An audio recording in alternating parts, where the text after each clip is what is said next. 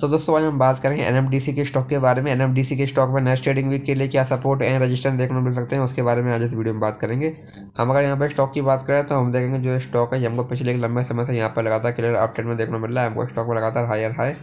Higher low वाला pattern यहाँ पर देखने को मिल रहा है। हालाँकि अभी पिछले तीन ट्रेड से हमको यहाँ पर स्टॉक में गिरावट भी यहाँ पर देखने को मिल रही है। आज भी हमको यहाँ पर स्टॉक में zero point five four percent की यहाँ पर गिरावट देखने को मिल रही है। तो यहाँ से अभी हम स्टॉक की बात करें, यहाँ से अभी हमारे पास स्टॉक है वन फोर्टी फाइव का पहला, यहाँ पर सपोर्ट देखने को मिल जाएगा, अगर स्टॉक यहाँ पर इसको ब्रेक करता है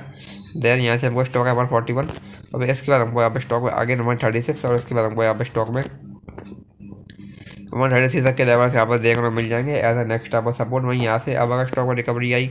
तो यहाँ से रिकवरी की कंडीशन में हमारे पास यहाँ पर स्टॉक का वन वन टू का पहला, यहाँ पर रजिस्टेंस देखने को मिल जाएगा, अगर स्टॉक इसको ब्रेक करेगा देन यहाँ से हमको स्टॉक है वन सिक्सटी